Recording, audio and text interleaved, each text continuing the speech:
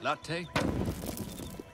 We also oh, do drip. It is a nice night, isn't it? Mr. Dinkles loves a full moon. Let's get a grub on. Oh. Food's ready. Well, I'll bring more kindling. Poppy, maybe it's just me, but are you getting a weird vibe from Hickory? What?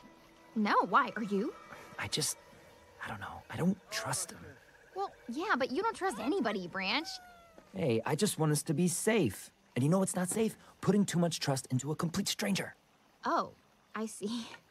It's not Hickory you don't trust, it's me.